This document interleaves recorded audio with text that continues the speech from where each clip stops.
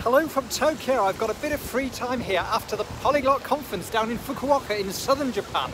It's my first visit to the country, my first visit to the capital, and of course one of the things I wanted to do was to look out for bookshops here, and some of them seem to be pretty big.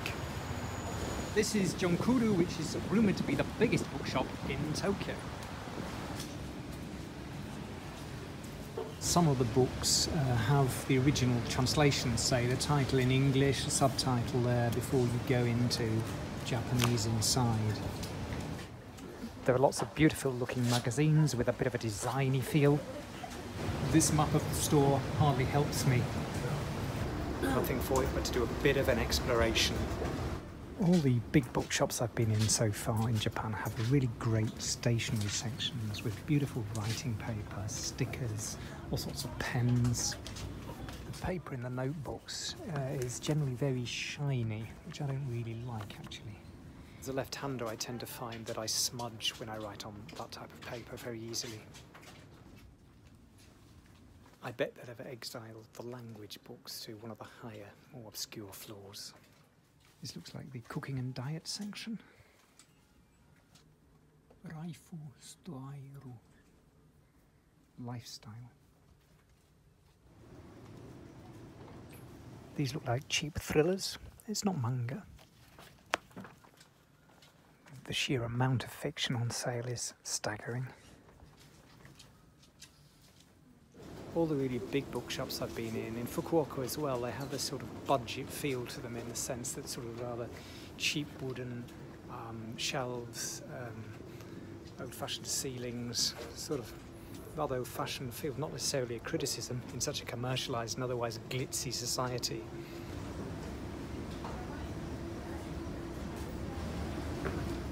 I'm not sure what these are, but beautifully bound. There's a cafe here too, although it looks as if it's closed tonight. Maybe there's a deliberate attempt to get a feel of some cross between a store and some sort of university library. I'd guess these are children's school books. Up to the eighth floor.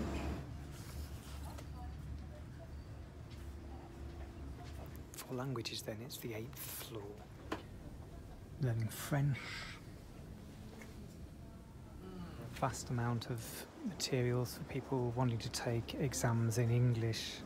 A lot of stuff for Korean. Italiano.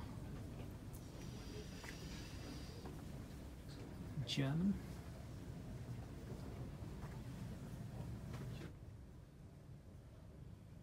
Bears, Matryoshka.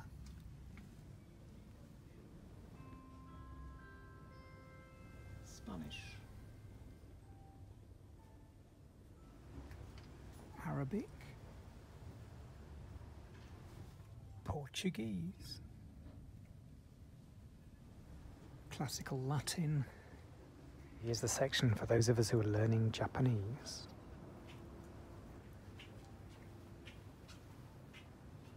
This is an intermediate book uh, all about Japanese customs and usefully it's got the furigana on top of the kanji. I've spent ages in the Japanese language section. I think the announcement's just gone out that it's closing time, so better go and pay for these.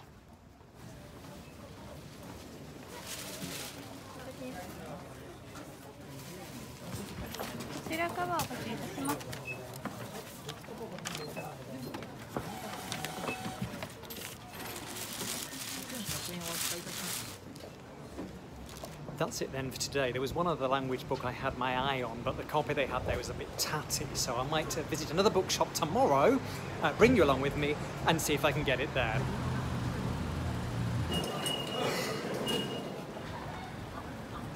Now in Ginza, which is quite a chic area just to the southeast of Tokyo Station, uh, lots of boutiques and big brands here, but there's also the Yaesu Book Centre. So let's go in and see what they've got. We've got travel guides here on the ground floor. Again, a magazine section.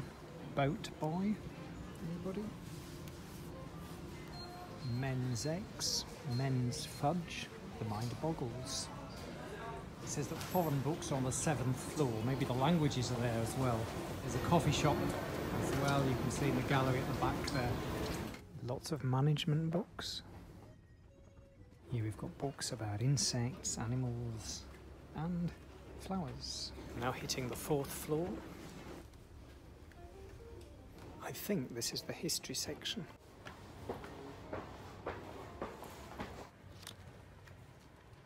I'd guess these were affordable editions of quality classics. There's a lot of them.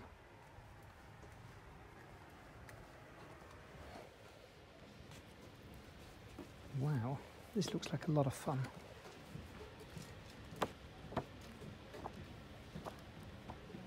Here are the books for English learners, so maybe the Learning Foreign Languages section is here too. Yes, yes, Spanish. Italian.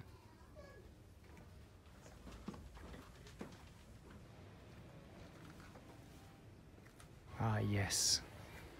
Compared with the other big bookshops I've seen, the Learning Japanese section is pretty meagre here.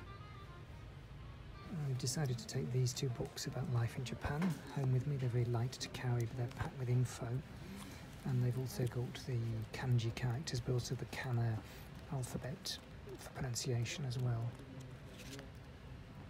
Now to head for the checkout before I get tempted any further. There's a central checkout system here. Just a short wait.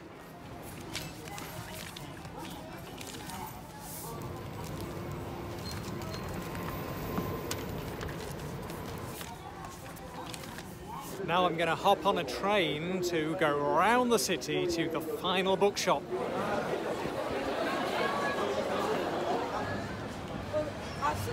I'm now in Shinjuku, one of the most bustling consumer districts in Tokyo, full of tourists, shoppers, spenders of all descriptions. But here is Kinokuniya, one of the biggest book chains actually. I know it from Singapore, uh, but I think this is the main store. books and media really, a bit like FNAC perhaps in France. Here goes. Love to know what this book is. It's been heavily promoted on the uh, front desks of all the shops I've been into, it seems. Stationery and diaries, magazines. Rank of cashiers here. Low budget feel to it. Not a criticism, as I said before. There is a lift. Along with the architecture and the art and design on the fourth floor, natural science has a huge computing section. Floor 7, language learning, foreign languages. There are some learning Japanese books, a great many of them found my textbook Japanese from Zero on sale. We're closing in five minutes. Please bring your final purchases to the cashier. Oh, the time pressure's on. I need to apply for a tax refund. Please wait. A couple more language books. I got to Kinokuniya in the nick of time. That's the end of this quick bookshop safari here in Tokyo. I hope you enjoyed it as much as I did. It was my first visit here to the city, so I focused in on some of the biggest stores. Course, there'll be lots of smaller, antiquarian, second-hand and specialist ones that I wasn't able to visit. Perhaps one or two whoppers I missed too. If you know of bookstores I should visit next time I'm in Tokyo, do let me know in the comments below. As always, thanks a lot for watching. Don't forget to subscribe for the vibe, think about a thumbs up, tickle that bell and share the affair. Now I'm off back to my hotel to start leafing through some of those purchases. See you next time. 来てくれたんだけど。Vestite del día al niño.